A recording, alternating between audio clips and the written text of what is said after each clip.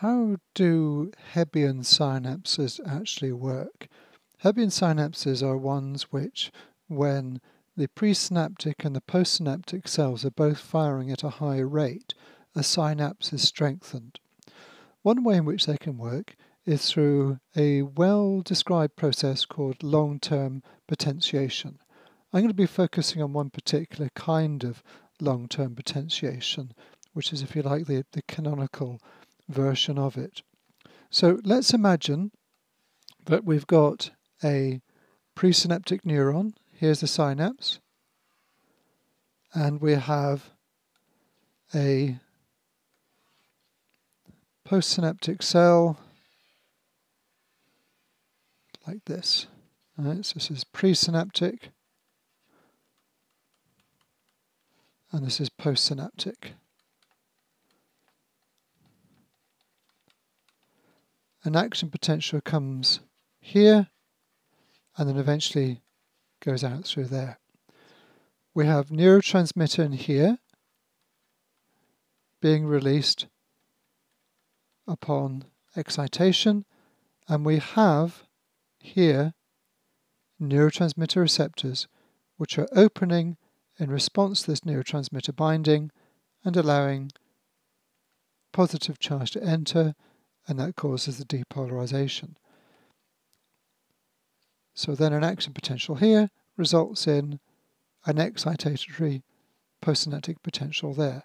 The question is, how can we, or how does the neuron, make this to be bigger conditioned upon simultaneous presynaptic and postsynaptic firing? Well, the answer is in the kind of receptors that we've got. We're going to focus on a neurotransmitter receptor subtype called glutamate receptors. These are receptors which respond to the neurotransmitter glutamate, glutamic acid. There are two main types of glutamate receptors. There are ionotropic and metabotropic.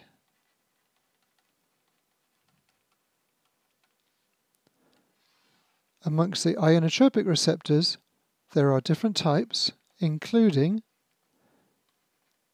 NMDA receptors, N-methyl D-aspartic acid, and there are other types, but this isn't the main subject, so I'm just going to limit this to AMPA receptors. So these are both ligand-gated ion channels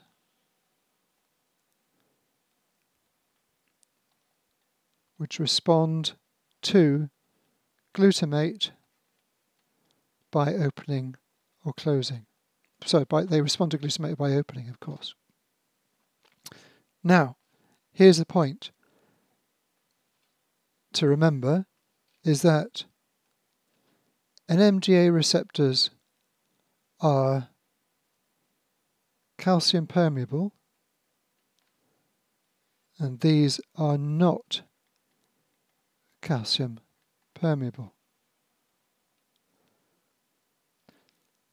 So let's see what happens if we have an action potential arrive here and no concomitant depolarization here. So this this silent this neuron here is silent. There's no other depolarization going on. We just got presynaptic only.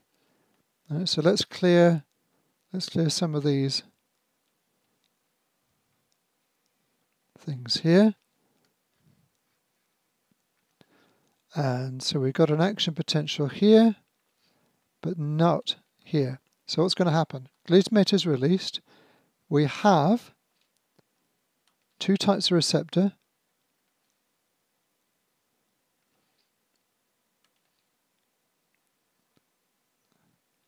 We have NMDA receptors and we have AMPA receptors.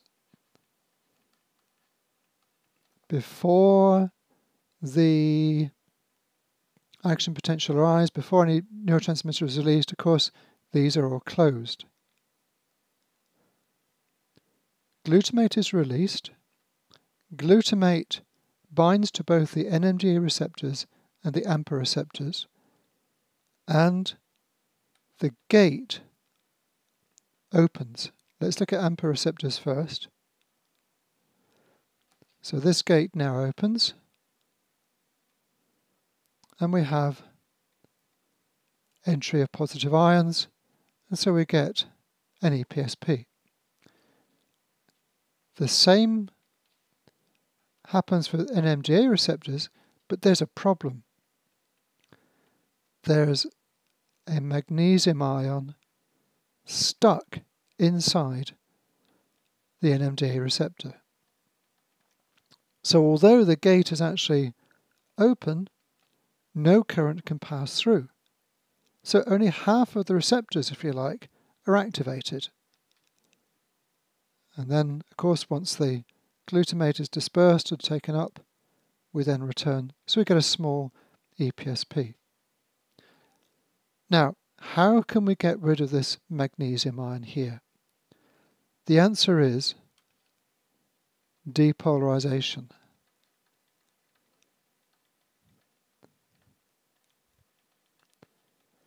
If you depolarize this postsynaptic cell, so this now becomes less negative, what happens is that pushes the magnesium ion out.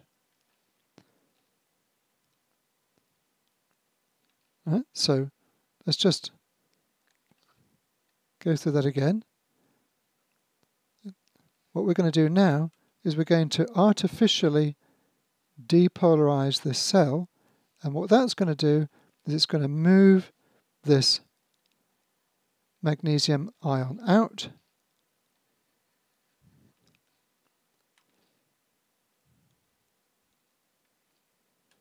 So now, when the glutamate arrives, it can get the ion, positive ions get in, and so we've now got a bigger depolarization. So what that means is, is these NMDA receptors will only be activated when the postsynaptic cell is depolarized. In other words, it's active. And of course, it also stands to reason that they'll only get activated when there's glutamate being released by the presynaptic cell. So they require the presynaptic cell to, to have an action potential. And can you see what's happened here? We've now actually got the conditions for a Hebbian synapse.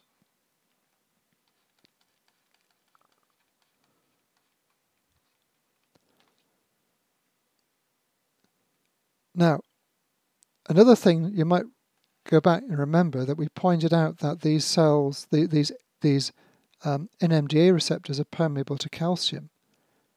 So what we've got so far is a Hebbian synapse, almost, but it forgets as soon as the depolarization is over. How can we actually change that? Well, this is where the calcium comes in. Because this is calcium permeable, calcium now enters the cell as well, and then calcium can do all sorts of things. It can affect the genome, to cause more AMPA receptors to be made and put into the membrane, or it can alter the AMPA receptors to be more sensitive. And both of these outlast this EPSP. So, what do we see? Well,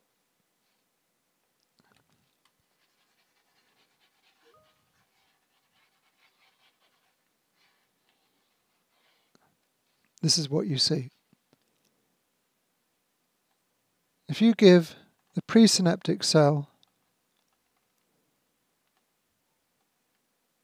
a chain of spikes, the postsynaptic cell will have individual EPSPs are the same size. If you now, before that, So if you now give this one a burst of activity, so it's firing away, while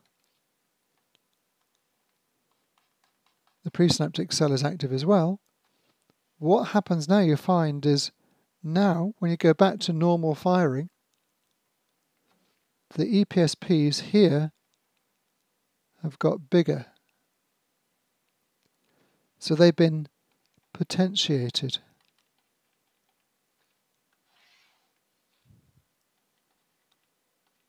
This is potentiation and it's long term because it can last for seconds, minutes or even longer. So now we've got a genuinely Hebbian synapse because the potentiation is long term and we've got a system whereby if we have simultaneous co-excitation of the two cells we end up with a stronger connection between them.